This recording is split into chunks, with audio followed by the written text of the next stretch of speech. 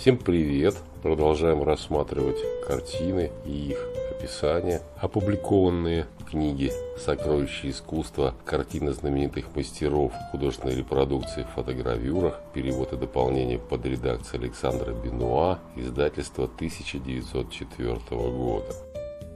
Тициано Вичелио. Венецианская школа. Портрет императора Карла V.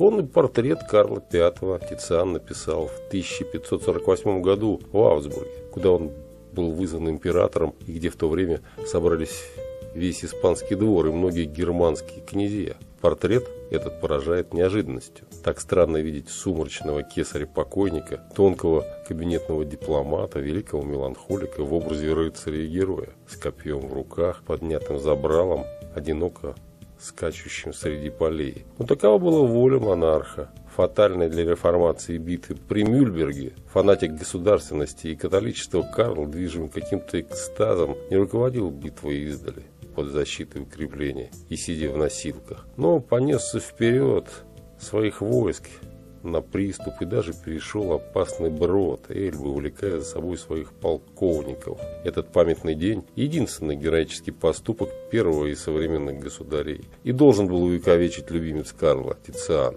тогда уже награжденный всяческими почестями и благами. Нечего поэтому искать в этом изображении какой-либо психологический просвет или интимную характеристику Капсбурга. Это не угрюмый, больной, молчаливый Карл, о котором повествует современника. Это не Карл, которого изобразил тот же Тициан в портрете Мюнхенской пинокотеки. Это не живая развалина, не хитроумный лукавец, не печальный властелин вселенной, не сын безумной Иоанны и роскошного Филиппа, но внук последнего рыцаря Максимилиана. Одинокую вспышку изобразил здесь Тициан, а не целый характер. Вот где причина, почему лицо на этом портрете скорее схематично. В нем есть, правда, нечто страшное, привиденческое, но оно все более официальный тип, нежели внимательно изученный документ. Так и во всей позе есть что-то ненатуральное напоминающие манекены в арсеналах старого оружия. Тициан не дал развернуться своей страсти, своему размаху, торжественности своего стиля, но сковал себя в границах требований заказчика, отнеся к задаче с редким для своего темперамента холодом и скорее поверхностно. Быть может, впрочем, невыгодное впечатление от этой картины объясняется и плохим его состоянием. В 1608 году она пострадала от пожара и была после того неоднократно реставрировано.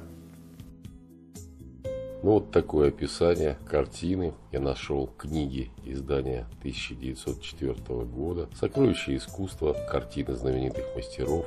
Художественной репродукции в фотогравюрах. Бадек Нампа. Перевод и дополнение под редакцией Александра Бенуа». Пока-пока. До свидания.